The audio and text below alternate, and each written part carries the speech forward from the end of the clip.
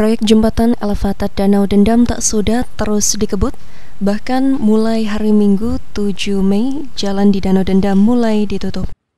Penutupan ini dilakukan agar pekerjaan jembatan elevated terfokus dan juga banyaknya alat berat di lokasi yang dapat membahayakan pengendara lain. Saat ini telah dipasang palang di tengah jalan agar tidak ada kendaraan yang lewat. Selain itu ada juga di lokasi jalan yang ditutup ada pengawas yang memantau dan menghalau jika ada pengendara khususnya roda 4 yang masih nekat lewat.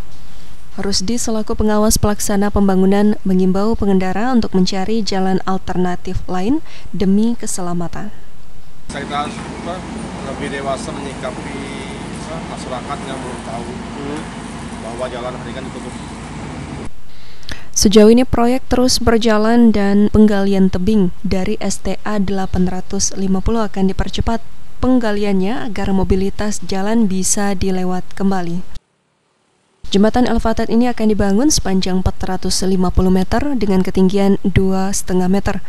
Lalu pembangunan jalan baru sepanjang 350 meter dan pelebaran jalan sepanjang 590 meter.